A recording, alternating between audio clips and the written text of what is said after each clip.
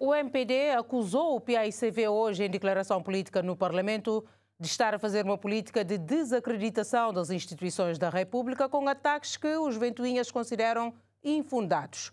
Para o MPD, as declarações do PAICV ajudam a minar a estabilidade política do país. Uma declaração política em jeito de resposta ao debate de ontem no Parlamento, que o MPD considerou ser um ataque às instituições da República feitas pelo PAICV. Para Paulo Veiga, enquanto o seu partido fortalece a democracia, outros insistem em concentrar poderes, comprometendo o funcionamento do Estado democrático. No cenário político cabo-verdiano, não é surpresa para ninguém que o movimento para a democracia se destaca como uma força comprometida com valores fundamentais que norteiam o Estado de Direito democrático.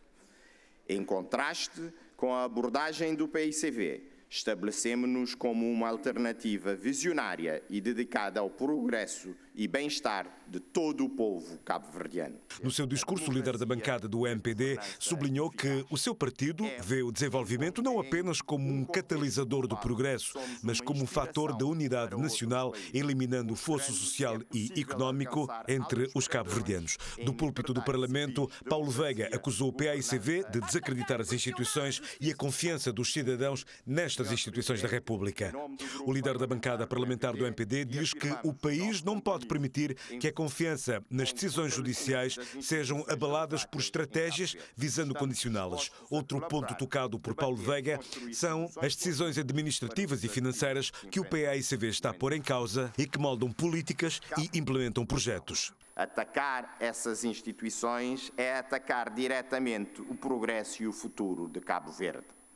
Diferentemente daqueles que têm atacado as instituições do país, apresentamos-nos como defensores incansáveis da estabilidade, do diálogo e do avanço em prol do desenvolvimento sustentável. Para o MPD, Cabo Verde é um país referência em África, graças às reformas que começaram a ser feitas a partir da Constituição de 92, construindo uma república robusta e livre e com valores democráticos inegociáveis e que hoje granjeia respeito internacional no combate à corrupção e com altos índices de transparência.